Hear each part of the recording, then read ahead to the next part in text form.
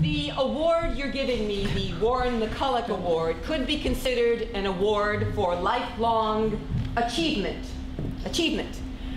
The award I'm receiving, however, is the award for lifelong avoidance. avoidance. Avoidance doesn't mean to just not do something. Avoidance happens when you do not something. When you do, but not something. I think of avoidance as something I do that I'm proud of. It goes like this. Somebody says, why do I have to go to school? Important question. Answer, in order to learn what to avoid. See what's done, you avoid that. That's avoidance. So I'm suggesting we could shift the paradigm temporarily from achievement to avoidance. Woo.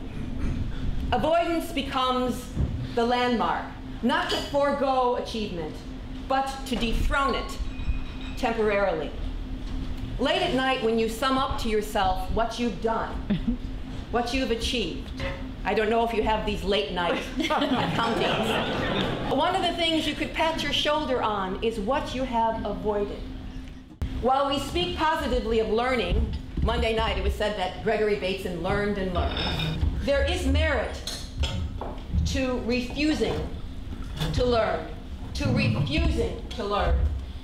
So someone's trying to teach me that the systems we see in place are way bigger than any particular group's ability to change it. That's a lesson I'm refusing to learn. People are trying to teach us that humans are only motivated by fear or greed.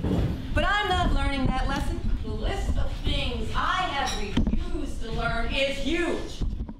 Bateson wrote the article, The Cybernetic Explanation. And it's in a similar vein to avoidance and refusing to learn. He proposes that rather than pursuing the question, why did, does this happen? That a more fruitful question is, why did the other things not happen? Not. For those of us who create sentences, and I know you all do, we're aware that part of a sentence's significance comes from the alternatives we speakers and writers have rejected. The significance of a particular sentence comes partly from the alternatives we've rejected. We've named our school the School for Designing a Society. We, and you could here think, we could have named it the School for Resigning Ourselves to Society. the School for Fitting In and Getting Away with It while looking good and doing bad. There was all sorts of names. We tried to name the School for Composing a Society, but then everybody thought it was for singing. So we moved that name. But the significance of the words we chose came partially from the words we rejected. We rejected. I'd like to end this acceptance speech with a brief interview with Susan Rose Parenti. Susan Rose. Rose is a rose. Yeah. Susan Rose Parenti, yes. Okay. Interviewer.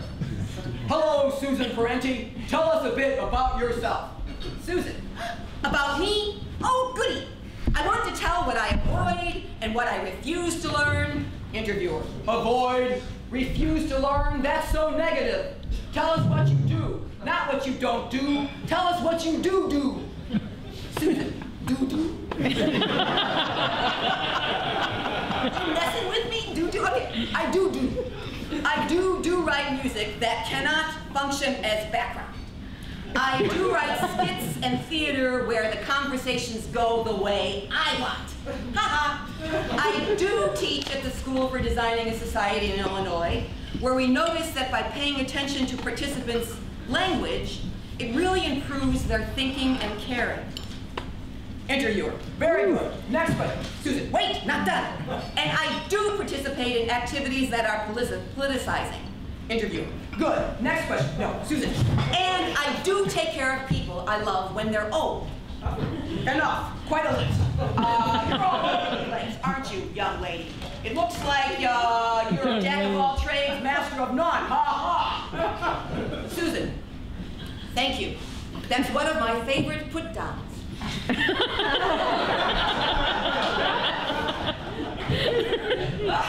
See, I'm not only committed to living in a certain way, I'm also committed to the insults, dismissals, and put downs that that way of living invites.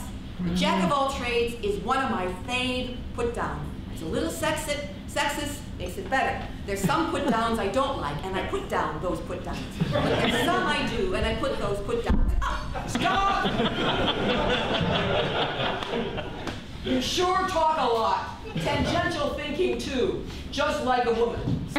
See, that's another put down I like. Tangential thinking. Interviewer, do you have any children? Susan, children? I told you I prefer to take care of people when they're old and need help, not when they're young. Interviewer. huh, no children. Sad. Susan, what? Interviewer. Do you have any other unfulfilled, unfulfilled dreams? Susan, uh, what do you mean? Interviewer, well, children. Susan, huh? Okay, do you have an unfulfilled dream? All right, this is the last question. Susan, well, actually, since you asked, I would like more people to write plays. I would. Bateson wrote the Metalogue. Everybody discusses the idea. That was, those were plays. Those were plays. Language creates temporary realities. We have this now. And writing skits and plays on language tests the capacity of the available language. I'd like to come to a conference of cyberneticians, Batesonians, where a person writes her presentation and presents it, but she also writes the conversation she wishes would have happened after the presentation. She distributes it to thus the parts. So we finally hear how the conversation would go. Enough spontaneity. Let's hear how you wish language would function. Interviewer, have you won any awards or prizes for this week? yes, thank you. I award, won the ASC's award. I won a voice. Thank you.